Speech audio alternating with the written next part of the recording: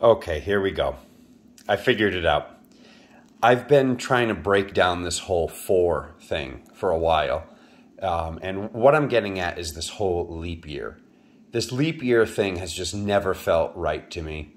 And today, Spirit woke me up with the answer. They, they, Spirit told me to break down the year with the time and check this out. So wherever you see the 12, this is obviously like the year 2012. So 2012, 13. It's kind of a weird 13, whatever. Uh, just just stick with me here for a second.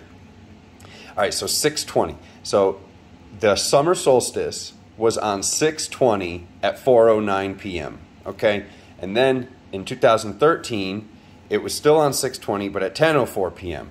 And 14, it was 621 at 3:51 a.m.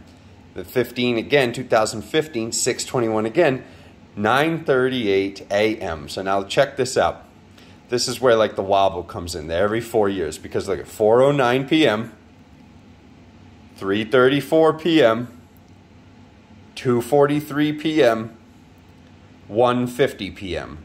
So it's a variance of about an hour, but every four years you can see that there are blocks of a four-year wobble and you can't make this up.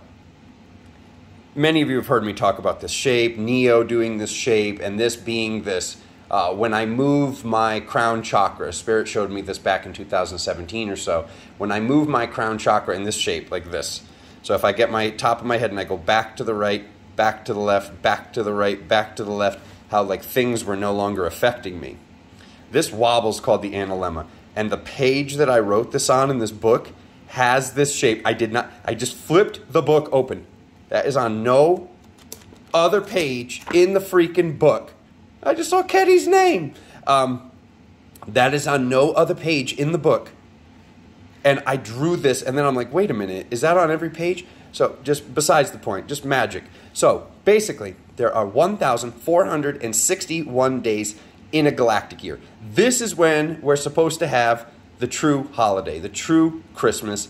I'm not being a Scrooge here. I'm not saying I don't want anybody to celebrate Christmas every year. I'm just saying that there is a very important day that we're all leaping over, we're all jumping over, and this is fascinating to me.